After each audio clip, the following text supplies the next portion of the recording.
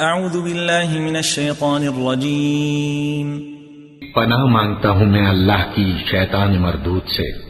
بسم الله الرحمن الرحيم شروع اللہ کا نام لے کر جو بڑا مہربان نہایت رحم والا ہے۔